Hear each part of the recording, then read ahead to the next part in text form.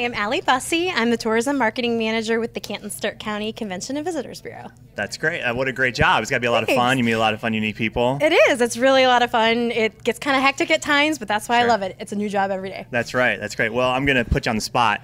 Um, think of a couple of your favorite spots in Stark County. Obviously, your job is to promote everybody, which is great. Absolutely.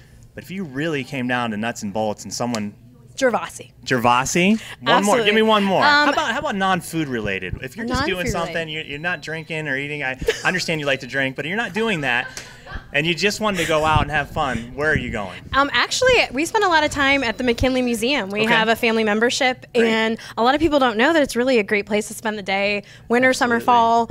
And I spend a lot of time in Hartville too, at the Yeah. Hartville Marketplace because I love deals, and we're kind of DIYers. So my husband and I are always looking for cool stuff for the house, and that's a really great. What's the last home project you did? um, actually, we're in the midst of redoing my bathroom. When you say we, Both. okay. Absolutely. I just wanted to make sure. I actually retiled our bathroom, That's our bathtub. Great. That's Mhm. very, very good.